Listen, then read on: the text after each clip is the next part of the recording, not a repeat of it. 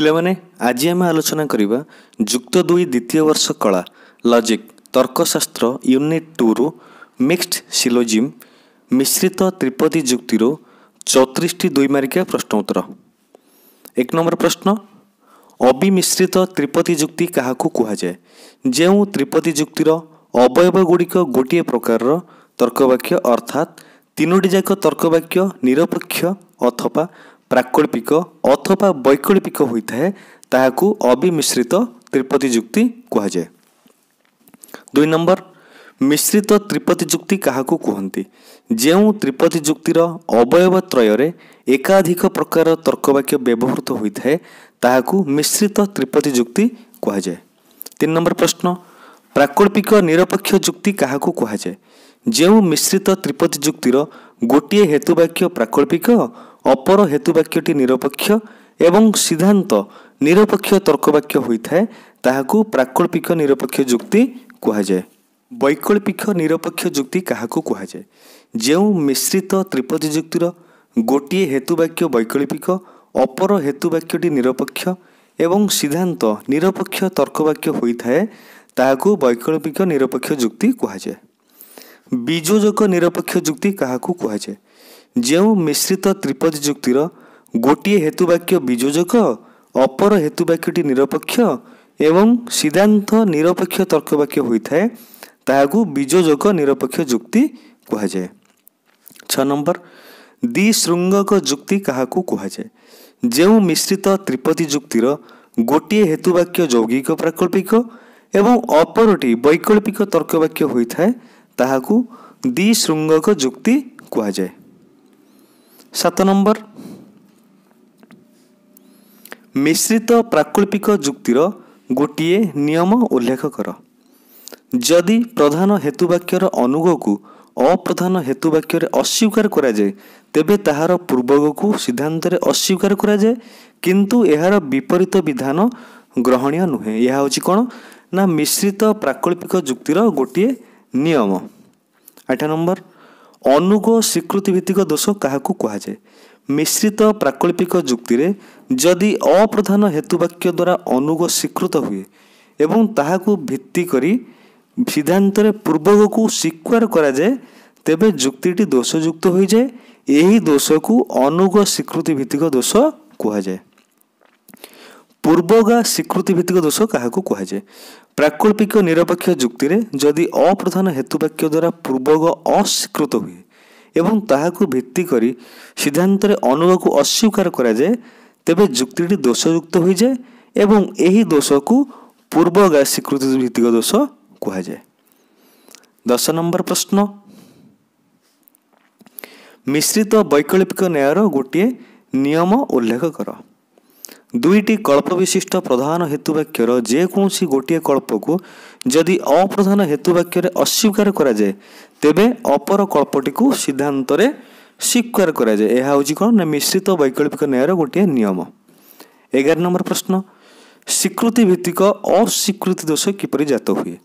ମିଶ୍ରିତ ବୈକଳ୍ପିକ ଯୁକ୍ତିରେ ଯଦି କୌଣସି କଳ୍ପକୁ ଅପ୍ରଧାନ ହେତୁବାକ୍ୟରେ ସ୍ୱୀକାର କରାଯାଏ ଏବଂ ତାହାକୁ ଭିତ୍ତି କରି ଅନ୍ୟ କଳ୍ପ ବା କଳ୍ପମାନଙ୍କୁ ସିଦ୍ଧାନ୍ତରେ ଅସ୍ୱୀକାର କରାଯାଏ ତେବେ ସେଠାରେ ସ୍ୱୀକୃତି ଭିତ୍ତିକ ଅସ୍ୱୀକୃତି ଦୋଷ ଜାତ ହୁଏ ବାର ନମ୍ବର ପ୍ରଶ୍ନ ମିଶ୍ରିତ ବିଯୋଜକ ଯୁକ୍ତିର ଗୋଟିଏ ନିୟମ ଉଲ୍ଲେଖ କର ଦୁଇଟି ବିକଳ୍ପ ବିଶିଷ୍ଟ ପ୍ରଧାନ ହେତୁବାକ୍ୟର ଯେକୌଣସି ଗୋଟିଏ ବିକଳ୍ପକୁ ଯଦି ଅପ୍ରଧାନ ହେତୁବାକ୍ୟରେ ସ୍ୱୀକାର କରାଯାଏ ତେବେ ଅପର ବିକଳ୍ପକୁ ସିଦ୍ଧାନ୍ତରେ ଅସ୍ୱୀକାର କରାଯାଏ ତେର ନମ୍ବର ପ୍ରଶ୍ନ ଅସ୍ୱୀକୃତି ଭିତ୍ତିକ ସ୍ୱୀକୃତି ଦୋଷ କିପରି ଜାତ ହୁଏ ମିଶ୍ରିତ ବିଯୋଜକ ଯୁକ୍ତିର ପ୍ରତ୍ୟେକ କ୍ଷେତ୍ରରେ ସିଦ୍ଧାନ୍ତକୁ ଅପ୍ରଧାନ ହେତୁବାକ୍ୟ ରୂପ ଓ ଅପ୍ରଧାନ ହେତୁବାକ୍ୟକୁ ସିଦ୍ଧାନ୍ତ ରୂପେ ଗ୍ରହଣ କଲେ ଅସ୍ୱୀକୃତି ଭିତ୍ତିକ ସ୍ୱୀକୃତି ଦୋଷ ଜାତ ହୁଏ ଚଉଦ ନମ୍ବର ପ୍ରଶ୍ନ ପ୍ରଥମ ସଂସ୍ଥାନରେ ଥିବା ବୈଧ ନ୍ୟାୟ ରୂପମାନଙ୍କର ନାମ କ'ଣ?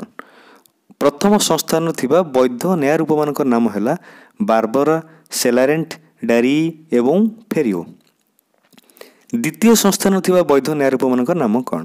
ଦ୍ୱିତୀୟ ସଂସ୍ଥାନରେ ଥିବା ବୈଧ ରୂପ ମାନଙ୍କର ନାମ ହେଲା ସାମେଷ୍ଟ୍ରେସ୍ ସେସାରେ ବାରୋଭୋ ଏବଂ ଫେଷ୍ଟିନୋ। ଷୋହଳ ନମ୍ବର ପ୍ରଶ୍ନ। ତୃତୀୟ ସଂସ୍ଥାନରେ ଥିବା ବୈଧ ନ୍ୟାୟରୂପମାନଙ୍କର ନାମ କ'ଣ? ତୃତୀୟ ସଂସ୍ଥାନରେ ଥିବା ବୈଧ ନ୍ୟାୟରୂପମାନଙ୍କ ନାମ ହେଲା ଡାରାପ୍ଟି ଡାଟିସି ଡିସାମିସ୍ ଫେଲାପ୍ଟନ୍ ଫେରିସନ୍ ଏବଂ ବୋକାଡୋ ଚତୁର୍ଥ ସଂସ୍ଥାନରେ ଥିବା ବୈଧ ନ୍ୟାୟରୂପମାନଙ୍କ ନାମ କ'ଣ? ନା ଚତୁର୍ଥ ସଂସ୍ଥାନରେ ଥିବା ବୈଧ ନ୍ୟାୟରୂପମାନଙ୍କ ନାମ ହେଲା ବ୍ରାମାଣ୍ଟିପ୍ ସାମେନ୍ସ ଡିମାରିସ୍ ଫେସାପୋ ଏବଂ ଫ୍ରେସିସନ୍ ଆରିଷ୍ଟୋଟଲଙ୍କ ମୌଳିକ ସୂତ୍ରଟି କ'ଣ ଉଲ୍ଲେଖ କର? ବ୍ୟଷ୍ଟି ଅର୍ଥରେ ବ୍ୟବହୃତ କୌଣସି ବ୍ୟାପ୍ୟ ପଦ ସମ୍ବନ୍ଧରେ ଯାହା ସ୍ୱୀକାର ବା ଅସ୍ୱୀକାର କରାଯାଏ ତାହା ସେହି ପଦ ଅନ୍ତର୍ଗତ ପ୍ରତ୍ୟେକ ବସ୍ତୁ ସମ୍ବନ୍ଧରେ ଅନୁରୂପ ଭାବେ ସ୍ୱୀକୃତି ବା ଅସ୍ୱୀକୃତି ହୋଇପାରେ। ଏହା ହେଉଛି କ'ଣ?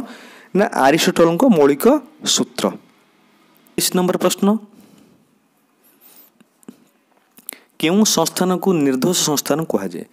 ଆରିଷ୍ଟୋଟଲଙ୍କ ମତରେ ପ୍ରଥମ ସଂସ୍ଥାନକୁ ନିର୍ଦ୍ଦୋଷ ସଂସ୍ଥାନ ବା ସମ୍ପୂର୍ଣ୍ଣ ବୈଧ ସଂସ୍ଥାନ କୁହାଯାଏ। କୋଡ଼ିଏ ନମ୍ବର ପ୍ରଶ୍ନ। ରୂପାନ୍ତରୀକରଣ ବା ରିଡକ୍ସନ୍ କାହାକୁ କୁହାଯାଏ? ସର୍ବାସ୍ତି ନାସ୍ତି ସୂତ୍ର ସାହାଯ୍ୟରେ ପ୍ରାମାଣିକତା ପରୀକ୍ଷା କରିବା ନିମନ୍ତ ସଦୋଷ ସଂସ୍ଥାନର ନ୍ୟାୟରୂପମାନଙ୍କର ନିର୍ଦ୍ଦୋଷ ନ୍ୟାୟରୂପମାନଙ୍କୁ ପରିବର୍ତ୍ତନ ପ୍ରକ୍ରିୟାକୁ ରୂପାନ୍ତରୀକରଣ କୁହାଯାଏ। ରୂପାନ୍ତରୀକରଣ କେତେ ପ୍ରକାର? ରୂପାନ୍ତରୀକରଣ ଦୁଇ ପ୍ରକାର ହୋଇପାରେ ଯଥା ପରୋକ୍ଷ ବା ଅସାକ୍ଷାତ ରୂପାନ୍ତରୀକରଣ ଏବଂ ଅପରୋକ୍ଷ ବା ସାକ୍ଷାତ ବା ପ୍ରତ୍ୟକ୍ଷ ରୂପାନ୍ତରୀକରଣ।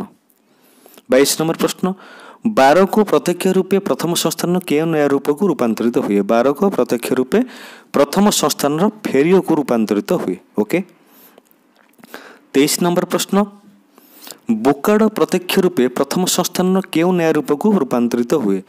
ବୋକାଡ଼ ପ୍ରତ୍ୟକ୍ଷ ରୂପେ ପ୍ରଥମ ସଂସ୍ଥାନର ଡାରିୟୁକୁ ରୂପାନ୍ତରିତ ହୁଏ। କେଉଁ ସଂସ୍ଥାନରେ ସିଦ୍ଧାନ୍ତ ଆ ତର୍କବାକ୍ୟ ହେବା ସମ୍ଭବପର? କେବଳ ପ୍ରଥମ ସଂସ୍ଥାନରେ ସିଦ୍ଧାନ୍ତ ଆ ତର୍କବାକ୍ୟ ହେବା ସମ୍ଭବପର। କେଉଁ ସଂସ୍ଥାନରେ ସିଦ୍ଧାନ୍ତ ସର୍ବଦା ନଞ୍ଜର୍ଥକ ହୁଏ? ଦ୍ୱିତୀୟ ସଂସ୍ଥାନରେ ସିଦ୍ଧାନ୍ତ ସର୍ବଦା ନଞ୍ଜର୍ଥକ ତର୍କବାକ୍ୟ ହୁଏ।